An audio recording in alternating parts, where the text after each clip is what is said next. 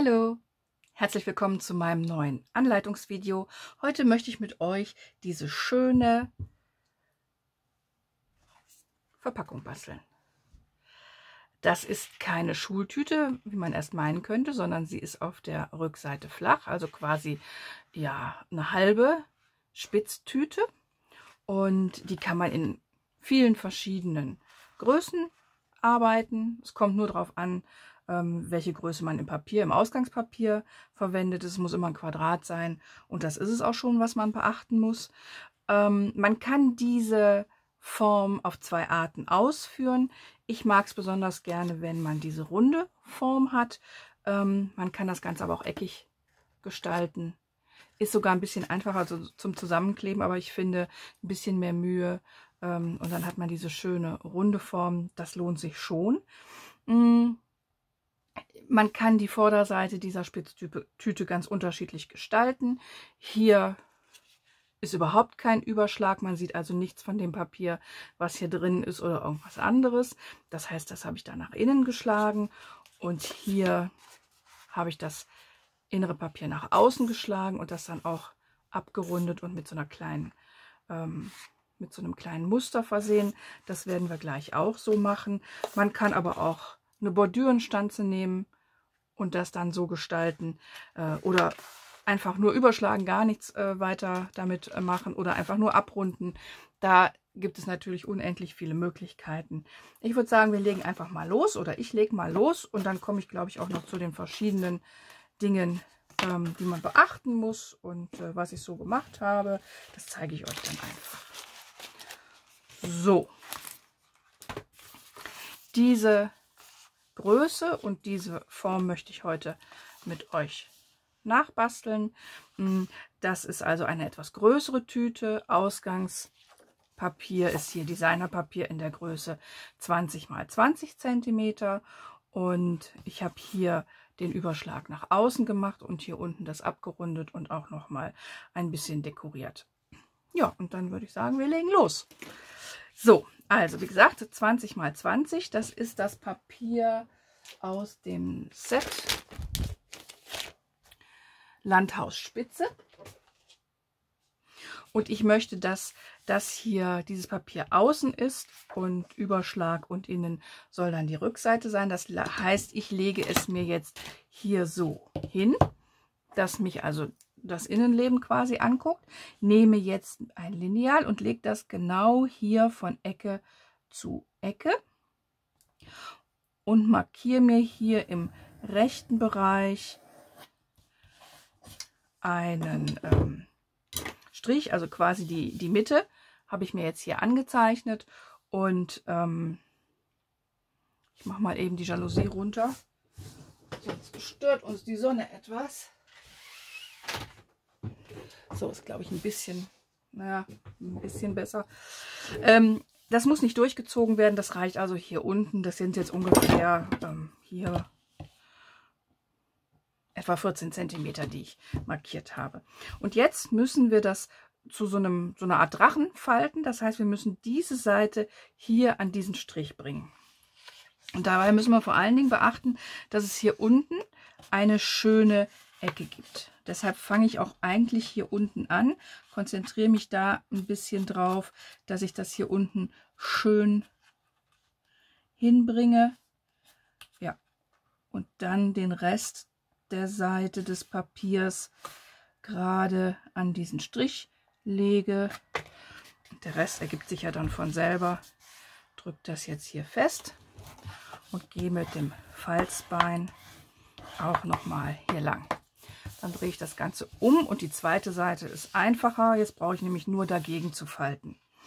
Achte aber wieder darauf, dass ich hier unten eine sehr schöne Spitze habe. Also fange ich direkt hier unten an, konzentriere mich da erstmal besonders drauf, richte dann das Papier hier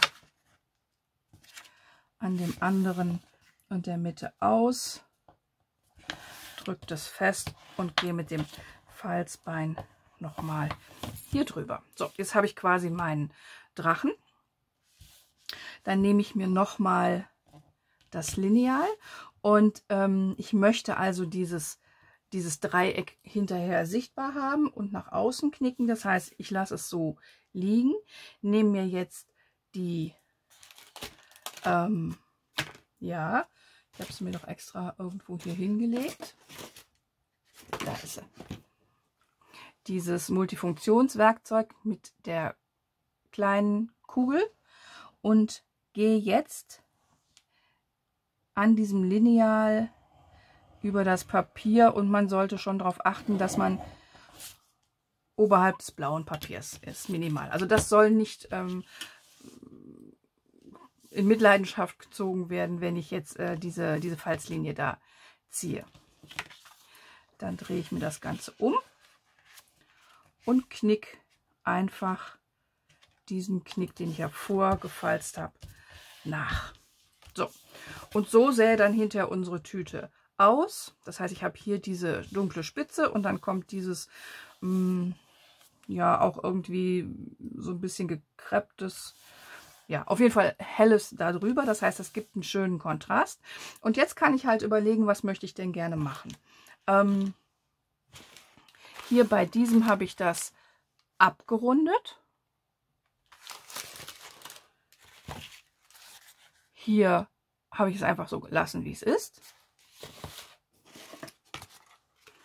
Hier habe ich es abgerundet und nochmal dieses kleine Muster da reingestanzt. Das ist eine Stanze, die nennt sich Dekorative Details, ist nicht mehr im ähm, Angebot, ist also was Altes. Und was noch auffälliger ist, hier habe ich ähm, eine Stanze genommen, die Ränder stanzt. Da habe ich einfach dieses Dreieck in die Stanz- und Prägemaschine gelegt, habe hier die Stanze hingelegt und habe es einmal durch die Maschine durch. Genauso hier, das ist eine Eckenstanze, da habe ich dann diese Blätter ausgestanzt. Also da gibt es ganz verschiedene Möglichkeiten. Und wenn ihr sagt, das gefällt mir aber gar nicht, der Kontrast ist mir zu groß, das Papier hier innen gefällt mir überhaupt nicht, dann besteht natürlich auch immer die Möglichkeit, äh, es einfach auf die andere Seite zu falten. Und dann haben wir hier überhaupt nichts. Dann sieht man also nur das Papier, was wir als ursprüngliches Papier äh, genommen haben und die Spitze ist nach innen gefaltet. Das geht natürlich auch. Also Möglichkeiten ohne Ende. Ihr macht bitte das, was euch am besten gefällt. Und ich werde jetzt hier diese Stanze nehmen, werde erstmal die Ecke abrunden und dann noch hier dieses Blümchenmuster ausstanzen. Ich finde, das passt sehr gut zu diesem Spitzenmuster. Ist ja mehr oder weniger gleich oder sehr ähnlich. So, und dann sieht das so aus. Stanze kann weg. Also das kommt nach außen. Und jetzt müssen wir diese beiden Teile übereinander bringen. Das ist so ein bisschen, weil das ja relativ fest ist unser Designerpapier und stabil. Immer mit ein bisschen, ja, da muss man ein bisschen gucken, aber das geht schon. Also das sind letztendlich unsere Klebeflächen, die übereinander gebracht werden und geklebt werden. Und das hier ist ja unsere Rundung. Deshalb gehe ich da jetzt so mit den Händen mal so ein bisschen, bringe das so ein bisschen in runde Form, damit sich das gleich einfach ein bisschen besser legt. Hier habe ich, sieht man noch ein bisschen vom Schneiden, sich die Kante etwas hochgelegt. So, also ich nehme das auf diese Rückseite und bringe jetzt diese beiden Seiten erstmal übereinander, um zu gucken, möchte ich die linke über die rechte oder die rechte über die linke kleben. Da habe ich nämlich die Feststellung gemacht, manchmal klappt es einfach besser. Ne? Ihr seht, hier ist so eine kleine Delle. Dann kann es sein, dass die andere Richtung, also das über das andere zu bringen, einfach besser funktioniert. Scheint auch hier tatsächlich der Fall zu sein. So soll es dann aussehen. Das heißt, ich muss mir jetzt also Kleber schnappen. Einen sehr guten Kleber, der muss schon ein bisschen was aushalten, weil das zieht hier schon ganz schön auch wieder auseinander. Ähm, und aus den Verpackungen sollte man ja immer mit einem sehr guten Kleber kleben. Und dann werden diese Sachen einfach nur übereinander gebracht und geklebt. Was man beachten muss, hier oben ist ähm, eine kleine Ecke, die nicht von dem anderen überlappt wird. Ist innen auf der anderen Seite genauso. Das ist auch vollkommen richtig. Man muss da nur beachten, dass man dann hier oben keinen Kleber hinbringt. Ich halte mal meinen Daumen einfach dahin, dann weiß ich, hier oben darf kein Kleber hin. Ich nehme jetzt den von mir bevorzugten Kleber, Tombow Flüssigkleber, weil der einfach bombig hält und man immer noch einen Augenblick Zeit hat, was zu verschieben und bringe jetzt hier bis hier unten den Kleber auf. So. Und bringe jetzt wieder die beiden Teile übereinander. Und wie gesagt, mit dem Tombow Kleber kann ich ja immer noch ein bisschen schieben, habe ein bisschen Zeit und kann mir das hier in die richtige Form schieben. Sollt ihr irgendwie, solltet ihr feststellen, dass es hier innen irgendwie ein bisschen hakt, dann ist ja nicht lasergeschnitten, liegt das daran, dass das eine Teil ein ganz kleines bisschen größer ist als das andere Teil. Dann einfach ein Stückchen abschneiden. So. So ein bisschen drücken.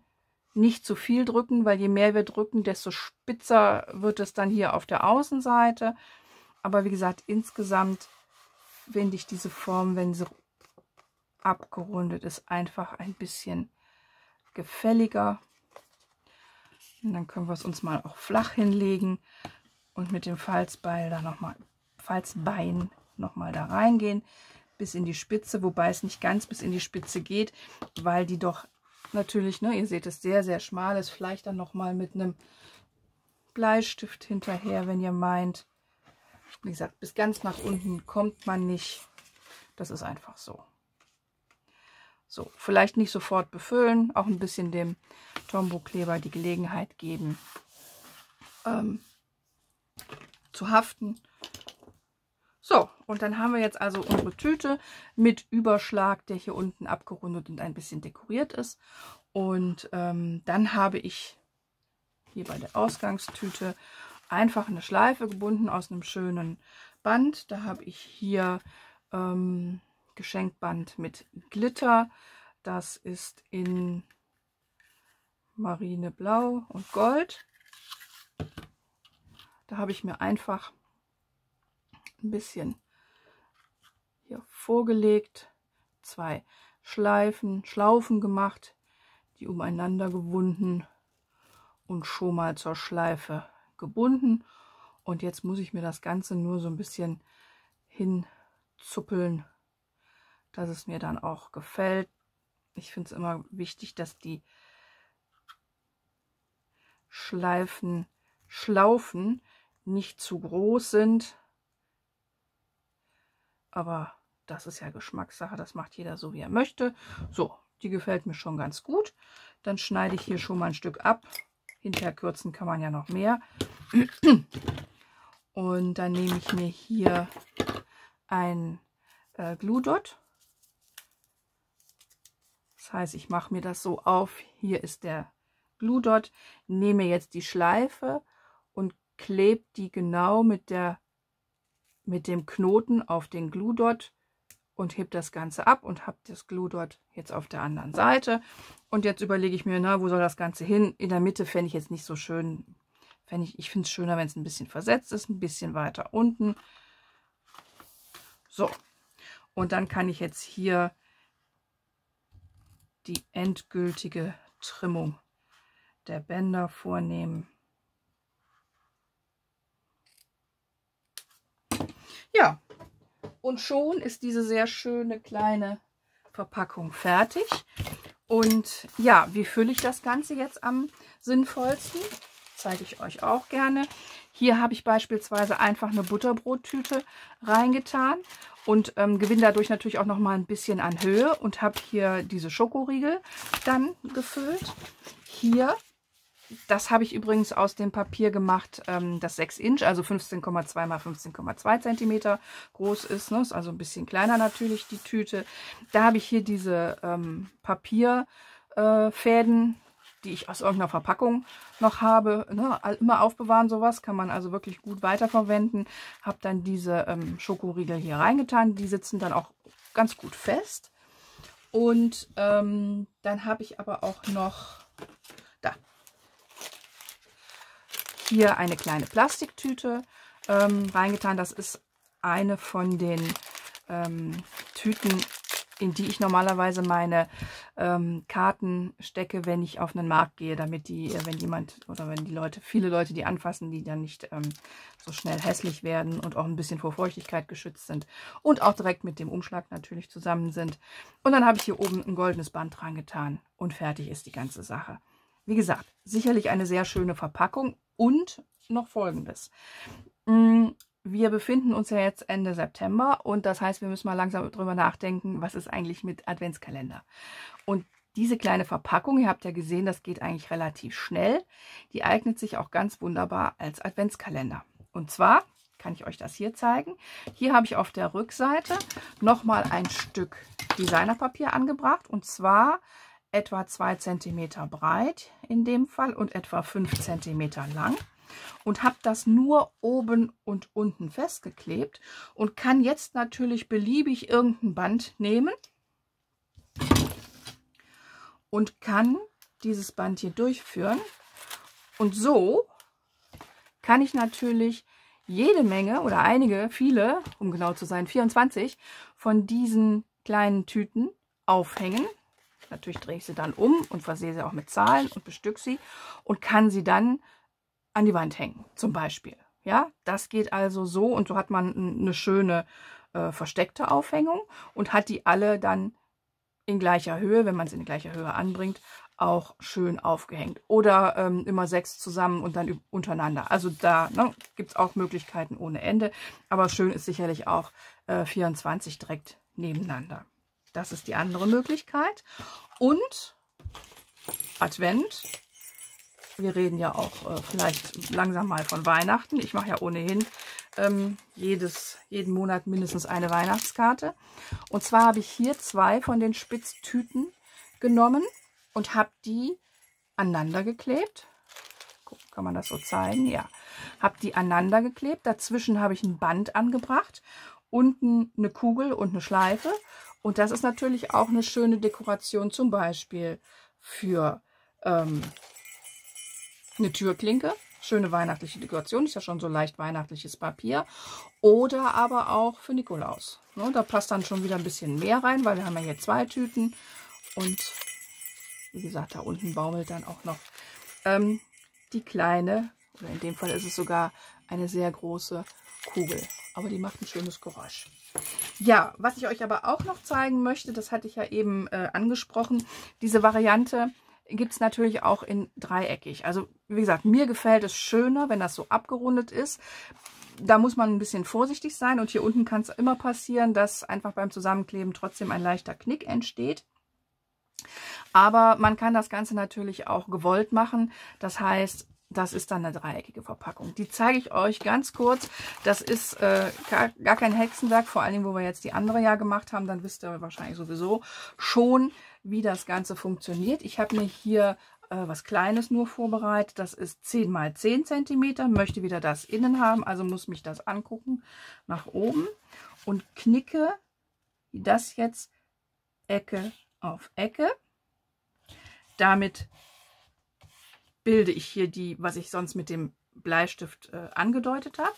Habe jetzt hier einen kompletten Knick und an diesen Knick bringe ich jetzt wie eben genau das gleiche die Seiten.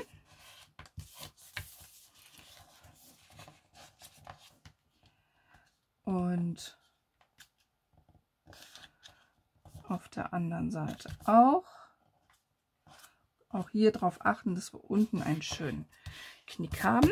Ein bisschen Goldflitter. So, und jetzt ähm, sage ich, ich möchte das überhaupt nicht sehen. Das ist sowieso so eine kleine Verpackung, das möchte ich nach innen haben dann kann ich das Ganze nehmen, entweder direkt nach innen knicken oder aber ich falze es hier auch vor. Das heißt, ich mache es lieber so rum. Nehme das Lineal, lege mir das hier an, gerade über die Außenseite, ziehe hier einmal lang und knick dann jetzt das Ganze nach innen. Eigentlich hätte ich von der anderen Seite, ne, ihr wisst schon, richtig falzen und knicken und bringe das dann nach innen und habe hier dann aber auch eine, man könnte es auch abschneiden, dieses Dreieck, aber hier habe ich dann einen schönen Rand. No, das sieht einfach schöner aus. Und bringe jetzt genauso wie eben auch die beiden Seiten übereinander. Und wenn wir hier diese dreieckige, also die mit dem ähm, mit der Falzung in der Mitte haben, ist das einfacher. Das Papier zieht nicht wieder so nach außen. Ne? So wie ich eben gesagt habe, dass ich mit den Händen mal so ein bisschen nachgeformt habe. Das ist hier gar nicht nötig. Dadurch, dass wir hier den Knick haben, kann man das ganz leicht übereinander bringen.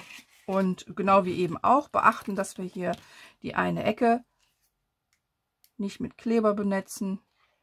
Und ähm, den Rest streichen wir ein.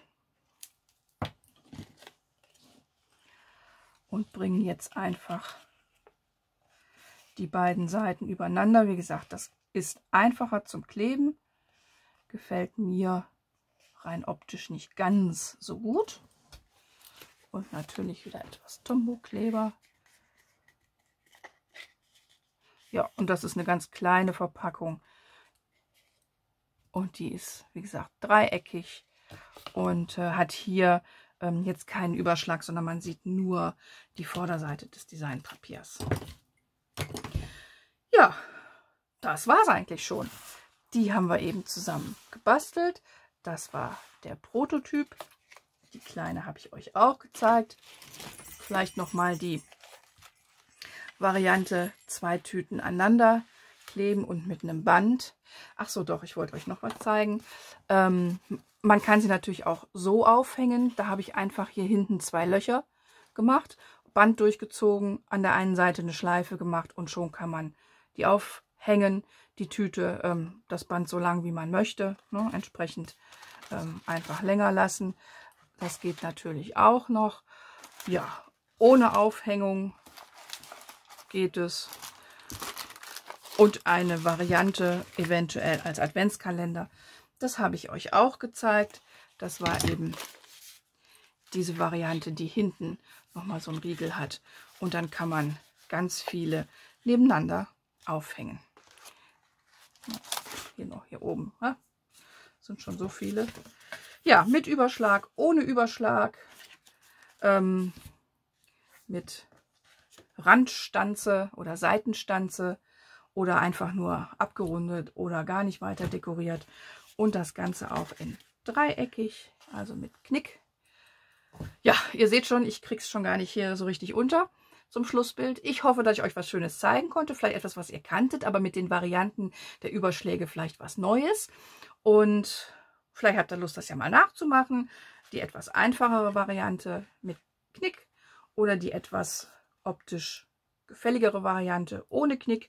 Ähm, beides ist aber sehr, sehr schön, finde ich, und eignet sich als Geschenkverpackung sehr gut und ist auch schnell gemacht.